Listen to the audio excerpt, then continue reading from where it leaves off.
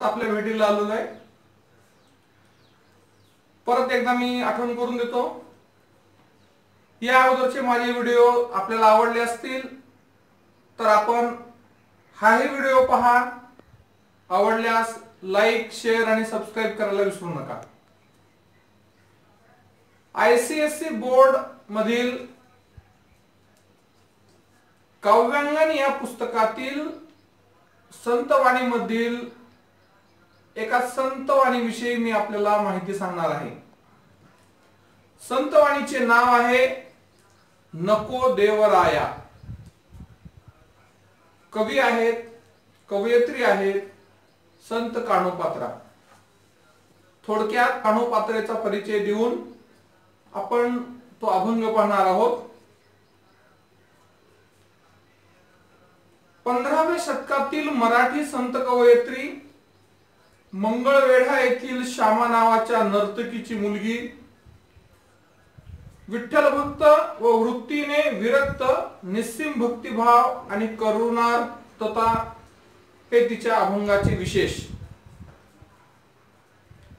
ही जी कवयित्री एक संत कान्होपात्रा तिची आई एक नर्तकी होती. आणि नर्तकीचं काम करत असताना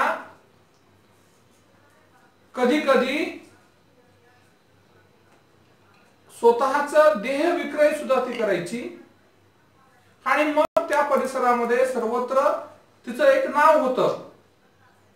आणि या श्यामा नावाच्या नर्तकीला तिच्या पोटी एक सुंदरशी सुसंस्कारी हरिभक्त ईश्वर भक्त एक मुलगी जन्माला आली. ती म्हणजे संत कानोपात्रा. आणि अशी एक माहिती आपल्याला सांगण्यात येते की संत कान्होपात्रा दिसायला खूप सुंदर होती. आई जरी नर्तिका असली तरी आईच्या म्हणण्यानुसार आईची जी इच्छा होती की आपली मुलगी सुद्धा नर्तकीचं काम करावं इतरांना खुश ठेवण्याचं काम करावं. परंतु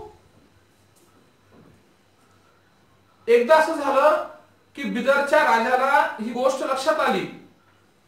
आणि मग बिदरच्या राजाने काही सेवक काही सैनिक या अनुपात्रेला घेऊन येण्यासाठी पाठवलं.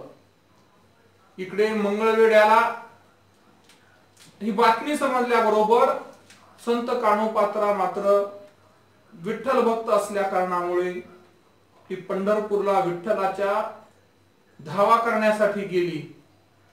विठ्ठलाच्या चरणाजवळ जाऊन मोठ्यानं अंतकरणातून ईश्वराचा धावा ती करू लागली. आणि तो केलेला धावा आहे तो धावा म्हणजेच नको देवराया आणि ती परमेश्वराला अत्यंत आर्ततेनं धावा करते. परमेश्वराला माझ्या संकटाला धावून येण्यास सांगते. आणि शेवटी मला न राहून तुझ्यामध्ये सामील करून घेण्यास सांगते. अशा प्रकारची एक आख्यायिका आहे. आणि त्यानंतर तो धावा केल्यानंतर कानोपात्रानं स्वतःचा देह त्या ठिकाणी ठेवलेला आहे. कानोपात्रेतला आत्मा हा ईश्वरामध्ये पण विठ्ठलामध्ये तो विलीन झालेला आहे.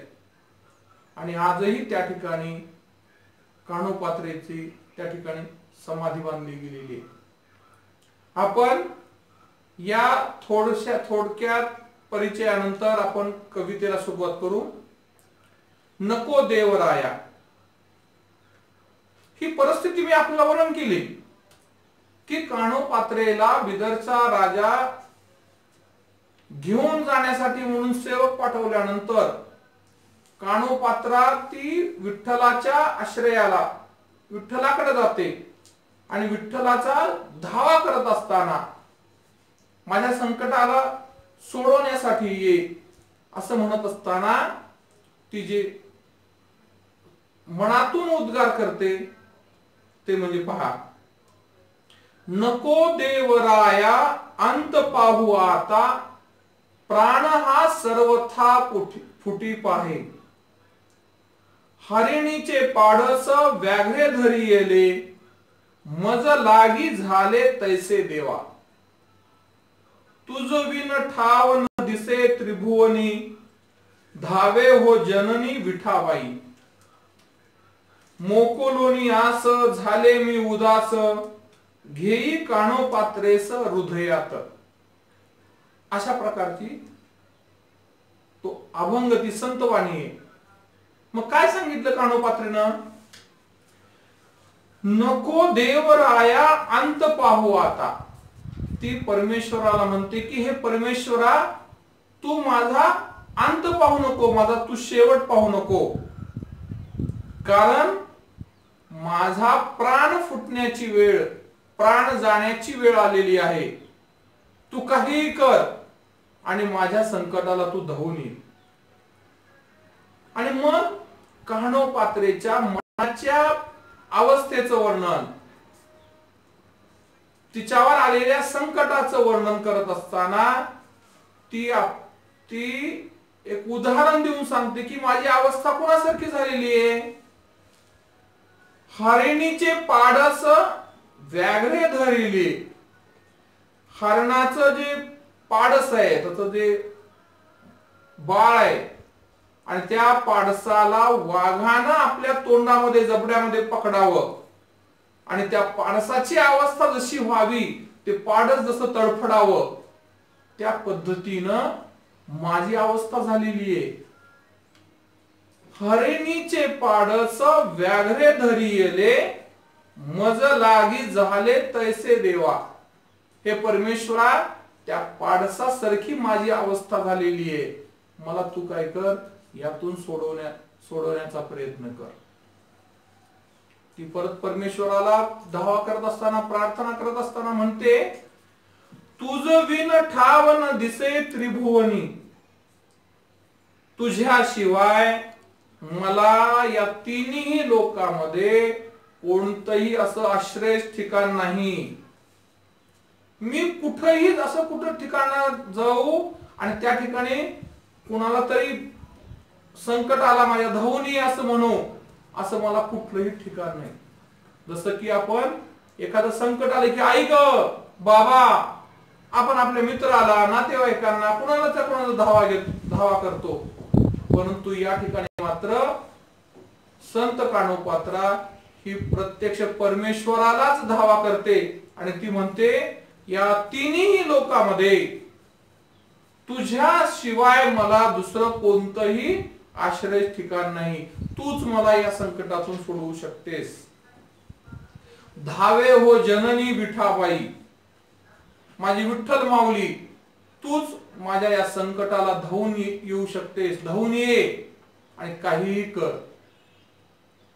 असं आर्ततेनं अत्यंत पोडतिडकीनं ती परमेश्वराचा विठ्ठलाचा धावा करते आणि मोठ्या मोठ्यानं रडत रडत रडत ती म्हणते मोकोलोनी आस झाले मी उदास. काणो पात्रा मोठमोठ्यानं रडून परमेश्वराचा धावा करते. ती अत्यंत दुःखित कष्टी झालेली आहे अत्यंत उदास झालेली आहे. आणि एक ईश्वराकडे एक इच्छा व्यक्त करते. आणि ती म्हणते हे परमेश्वरा घेई काणो पात्रेस हृदयात. या कानो पात्रेला तुझ्या हृदयामध्ये सामावून घे. म्हणजे मला आता हे जगणं नको आहे. या अवस्थेतून संत कानो पात्रा परमेश्वराचा धावा करत असताना म्हणते की आता मी खूप दुःखी झालेली आहे आणि तो आता काहीही कर आणि तुझ्या हृदयामध्ये मला सामावून घे. असं कर म्हणत असताना या कवितेचा भावार्थ या कवितेचा जो अर्थ आपल्याला समजला असेल असं मला वाटतं. आणि शेवटी एकच सांगेल की संत कानोपात्रा शेवटी परमेश्वराचा धाव करत असताना त्याच ठिकाणी ती विठ्ठलाच्या चरणी विठ्ठलामध्ये लीन होते. आणि पुढे पंढरपूरला त्याच ठिकाणी संत कानोपात्रेचा त्या ठिकाणी समाधी बांधण्यात आलेली आहे अशी एक आपल्याकडे माहिती आहे. परत एकदा माझा हा व्हिडिओ आवडला असेल लाईक शेअर आणि सबस्क्राईब करायला विसरू नका. धन्यवाद.